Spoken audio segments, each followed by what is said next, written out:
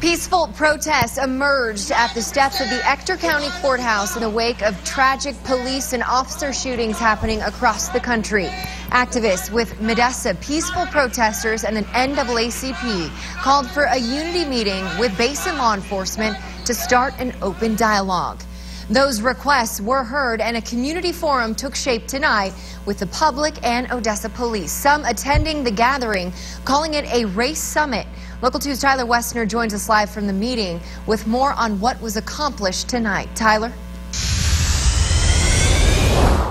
That's right, Stephanie. I'm here live inside the Blackshear Elementary Auditorium, where just a short while ago, that community forum that you mentioned just wrapped up. About 50 people in attendance, wanting their voices heard in front of a panel of city leaders.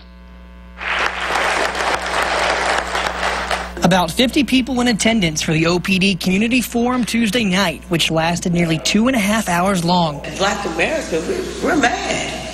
I mean, it's just, we're upset, we fed up. I mean, uh, the accounts with the, our brothers and sisters dying in the streets at the hands of officers. About 10 people in the audience came to the mic to make their voices heard in front of a panel that included many city leaders. Education is a great equalizer. And sometimes we as educators uh, sit on the sideline, and uh, I'm tired of sitting on the sideline on issues like this. The dialogue didn't become too heated as members of the community remained respectful to the city leaders they were speaking to. Now, there was going to be another forum scheduled for this Thursday over at the Woodson Park Community Center, but that's been postponed and will be rescheduled because of some scheduling conflicts.